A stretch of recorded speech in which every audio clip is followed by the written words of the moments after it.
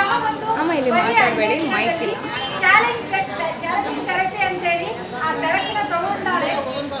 ಅಮ್ಮ ಬಂದು ಯಾವ ಸಮಸ್ಯೆಯಲ್ಲಿ ಆ ಒಂದು ಚಾಲೆಂಜ್ ಥೆರಪಿಯಲ್ಲಿ ಜಾಯ್ನ್ ಆಗಿರುವ ಏನು ಒಂದು ಪ್ರಾಬ್ಲಮ್ಸ್ನ ಕ್ಯೂರ್ ಮಾಡ್ಕೊಂಡಿದ್ದಾರೆ ಅಂತೇಳಿ ಅಮ್ಮನ ಹತ್ರ ನೀವು ಕೇಳೋ ಸರ್ ಜೋರಾಗಿ ಚಪ್ಪಾಳೆ ಮಾಡಿ. ಹೆಸರು ನಾಗಮ್ಮ ಅಂತೇಳಿ. ಎಲ್ಲಿಂದ ಬರ್ತಾ ಇದ್ದೀರಾ? ನಾವು ಸೋಮಸಂದ್ರ ನಾನು ಸೋಮಸಂದ್ರ ಮೇಡಮ್ ನಾನು. ನಮ್ಮ ಮಾವ ಅವ್ರಿಗೆ ತಿಳಿಸ್ಕೊಟ್ಟಿದ್ರು ಬೆಳಗಲ್ಲಿ ನಿಮ್ಮ ಮಾವ ಅವರು ಪರಿಚಯ ಬಗ್ಗೆ. ಓಕೆ ನಿಮ್ಗೆ ಏನು ಸಮಸ್ಯೆ ಇತ್ತಮ್ಮ? ನನಗೆ ಗರ್ಭಚೀಲ ಸಮಸ್ಯೆ ಇತ್ತು. ಗರ್ಭಚೀಲದ ಸಮಸ್ಯೆ.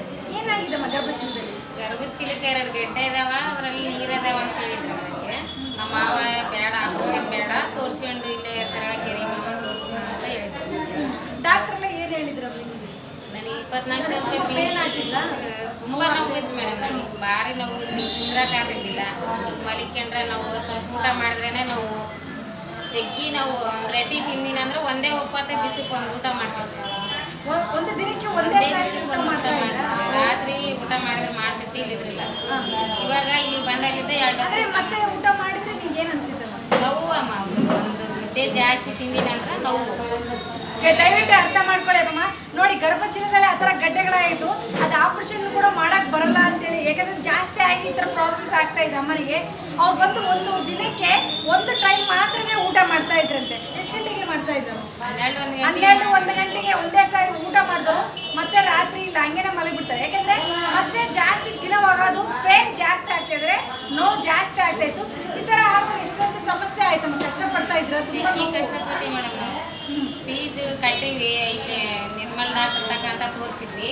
ಅಲ್ಲಿ ತೋರಿಸಿದ್ರಿಗಿನ ಆಪರೇಷನ್ ಮಾಡ್ಬೇಕಂತ ಹೇಳಿದ್ರು ಫೀಸ್ ಕಟ್ಟೋಣ ಅಂತಂದ್ರೆ ನಮ್ಮ ಮಾಮ ಬೇಡ ಯಾ ಫೀಸ್ ಕಟ್ಬೇಡ್ರಿ ಇಲ್ಲೇ ಬಂದು ತೋರಿಸಿ ಅಂತಂದು ಇಲ್ಲಿ ಪರಿಚಯ ಮಾಡಿ ಓಕೆ ಇಲ್ಲಿ ನಂತರ ನೀವು ಮ- ಇದು ಒಂದು ಗರ್ಭಚೀಲ ಸಮಸ್ಯೆ ಪರ್ಸನಲ್ ಪ್ರಾಬ್ಲಮ್ಸ್ ಅಂತೇಳಿ. ಅಮ್ಮ ಚಾಲೆಂಜಿಂಗ್ ಥೆರಪಿಗೆ ಸೆಲೆಕ್ಟ್ ಆಯಿತು ಐದು ದಿನ ಅದರಲ್ಲಿ ಥೆರಪಿನ ತಗೊಂಡಿದ್ದಾರೆ. ಇವಾಗ ನಿನ್ನೆ ಕೊನೆ ಆಯ್ತು ನಿಮ್ದು ಚಾಲೆಂಜಿಂಗ್ ಥೆರಪಿ ನಿನ್ನೆ ಒಂದು ಡಾಕ್ಟರ್ ಹತ್ರ ಹೋಗಿ ಸ್ಕ್ಯಾನ್ ಮಾಡಿಸಿ ಬಂದಿರಮ್ಮ ಮಾಡ್ಸಿದ್ದೀನಿ. ಇವಾಗ ಏನು ಹೇಳಿದ್ರಮ್ಮ ಡಾಕ್ಟರ್ ಸ್ವಲ್ಪ ಕಡಿಮೆ ಆಗ್ಯಾವ ಗಡ್ಡೆ ಎಲ್ಲ ಕರೆಗೆ ಅರ್ಧ ಭಾಗ ಕರಿ ಹೇಳಿದರೆ ನೋಡಿ ಬರೀ ಐದೈದು ದಿನ ಅಮ್ಮ ಬಂದು ತೆರಫಿನ ತಗೊಂಡಿರೋದು. ಉಲ್ಟಾ ಇಲ್ಲ ಸೀದಾ ಮನೆಗೆ ತೆರಫಿನ ನಾನು ಕೊಟ್ಟು ಗೈಡೆನ್ಸ್ ಮಾಡಿ ಹೇಳಿದ್ದೀನಿ ಯಾವ ಥರ ತಗೊಳ್ಬೇಕು ಹೆಂಗೆ ಅಂತೇಳಿ. ಈ ಒಂದು ಐದು ದಿನದಲ್ಲೇ ಅಮ್ಮನಿಗೆ ಬಂದು ಅರ್ಧ ಭಾಗ ಸಮಸ್ಯೆ ಕಡಿಮೆ ಆಗಿದೆ ಜೋರಾಗಿ ಚಪ್ಪಾಳೆ ಮಾಡಿ ಖುಷಿ ಅನಿಸ್ತಾ ಇದ್ದಾರಮ್ಮ ರಕ್ತ ಯಾವ ಥರ ಇತ್ತಮ್ಮ ನೀವು ಮೊದಲು ಟೆಸ್ಟ್ ಆರು ಪಾಯಿಂಟ್ ಏಳು ಇತ್ತು ಮೇಡಮ್ ನನಗೆ ಬ್ಲಡ್ ಇವಾಗ ಇಲ್ಲಿ ಬಂದಾಗಲಿದ್ದ ಬ್ಲಡ್ ಚೆಕ್ ಮಾಡ್ಸಿಲ್ಲ ನಿನ್ನೆ ಬ್ಯಾಡ ಅಂತ ಹೇಳಿದ್ರು. ಈ ಸತಿ ನಾಳೆ ಸೋಮವಾರ ಬ್ಲಡ್ ಚೆಕ್ ಮಾಡೋಣ ಅಂತ ಹೇಳ್ಯಾರ. ಬ್ಲಡ್ ಚೆಕ್ ಮಾಡಿಸಿ ಬಂದಾಗ ರಿಪೀಟ್ ಇಲ್ಲಿ ಡಾಕ್ಟರ್ ಚೆನ್ನಾಗೈತೆ ಚೆನ್ನಾಗಿ ಚೆನ್ನಾಗೈತೆ ಅಂತ ನಿನ್ನೆ ನಿನ್ನೆ ಓಕೆ ತುಂಬಾ ಸಂತೋಷ. ಡಾಕ್ಟರ್ ಬ್ಲಡ್ ಏನ್ ಚೆಕ್ ಮಾಡಿಲ್ಲ ಬಟ್ ಬ್ಲಡ್ ಕೂಡ ಇವಾಗ ಚೆನ್ನಾಗಿ ಇಂಪ್ರೂವ್ ಆಗ್ತಾ ಬಂದಿದೆ. ಹಾಗೆ ನಿಮ್ಮ ಗರ್ಭಚೀಲದಲ್ಲಿರುವಂತ ಗಡ್ಡೆಗಳು ಅರ್ಧಕ್ಕರ್ಧನು ಕರಿಗೆ ಕಡಿಮೆ ಆಗಿದೆ. ತುಂಬಾ ಒಂದು ಖುಷಿ ಆಯ್ತು. ಇಲ್ಲಿ ಇವಾಗ ಇವಾಗ ಎಷ್ಟು ಖುಷಿ ಆಗ್ತಾ ಇದೆ. ಇಲ್ಲಿ ಏನಾದ್ರೂ ಹಣನ ಖರ್ಚು ಮಾಡಿದ್ರಮ್ಮ ನೀವು? ಇಲ್ಲಮ್ಮ ಇಲ್ಲ ಏನು ಮಾಡಿಲ್ಲ. ನಾವು ಗುಳಿಗೆ ಕೂಡ ತಗೊಂಡು ದಿವಸಕ್ಕೆ ಹದಿನೈದು ಗುಳಿಗೆ ತಗೊಂಡಿದ್ವಿ ನಮ್ಮ ನಾನು. ಒಂದು ದಿನಕ್ಕೆ ಮೂರು ಟೈಮು ಮೂರು ಟೈಮ್ ಅಮ್ಮ. ಬೆಳಿಗ್ಗೆ ಐದು ಗ- ಮಧ್ಯಾಹ್ನ ಐದು ಮತ್ತೆ ಸಾಯಂಕಾಲ ಐದು ಅದು ಊಟ ಮಾಡ್ಲಿದ್ರು ಕೂಡ ಗುಳಿಗೆ ಟ್ಯಾಬ್ಲೆಟ್ ಅಂತೂ ಬಿಟ್ಟಿದ್ದಿಲ್ಲ ಅದು ಹಾಕ್ಯಂಡ್ರು ಕೂಡ ಕಡಿಮೆ ಆಗ್ತಿದ್ದಿಲ್ಲ.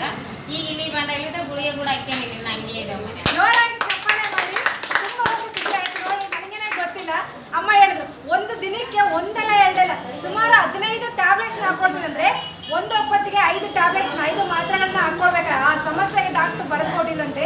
ಆ ಒಂದು ಒಂದು ದಿನಕ್ಕೆ ಹದಿನೈದು ಟ್ಯಾಬ್ಲೆಟ್ ಹಾಕೊಂಡ್ರೆ ಯಾವ ಥರ ಪ್ರಾಬ್ಲಮ್ಸ್ ಆಗುತ್ತೆ? ದಯವಿಟ್ಟು ಅರ್ಥ ಮಾಡ್ಕೊಳ್ಳಿ.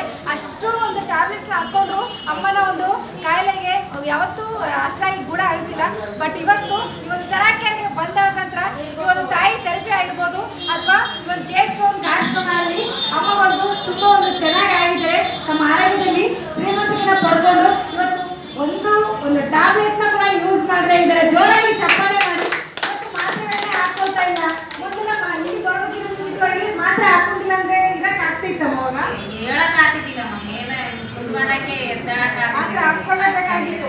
ಕುತ್ಕೊಂಡ್ರಿಗಿನ ಎಲ್ಲ ನಾವು ಒಟ್ಟೆಲ್ಲ ಬಿಗೆ ಮಾಡ್ದಂಗೆ ನಾವು ಊಟ ಮಾಡ್ತಾರೆ. ಅವೆಲ್ಲ ಊಟ ಮಾಡ್ತಾನೆ. ಓಕೆ ತುಂಬಾ ಸಂತೋಷ ಅಂತ ಜೋರಾಗಿ ಚಪ್ಪಾಳೆ ಮಾಡಿದ್ಮ ಊಟಕ್ಕೂ ಚೆನ್ನಾಗಿ ಮಾಡ್ತಾ ಇದ್ರೆ ಹಾಗೆ ಒಂದು ಟ್ಯಾಬ್ಲೆಟ್ ಕೂಡ ಹಾಕೊಳ್ತಾ ಇಲ್ಲ. ಇವತ್ತು ಪೇನ್ ಇಲ್ಲ ತುಂಬಾ ಚೆನ್ನಾಗಿ ಆಗ್ತಾ ಬಂದಿದೆ. ಖಂಡಿತ ಮೂರಕ್ಕೆ ನೂರು ಪರ್ಸೆಂಟೇಜ್ ಆ ಒಂದು ಸಂಪೂರ್ಣವಾಗಿ ಕೂಡ ಖಂಡಿತ ಕಡಿಮೆ ಆಗುತ್ತೆ ನಿಮ್ಮ ಮಕ್ಕಳು ನಾವಿದ್ದೀವಿ ಓಕೆನಾ ಕೊನೆಯದಾಗಿ ಅವನ ತಾಯಿ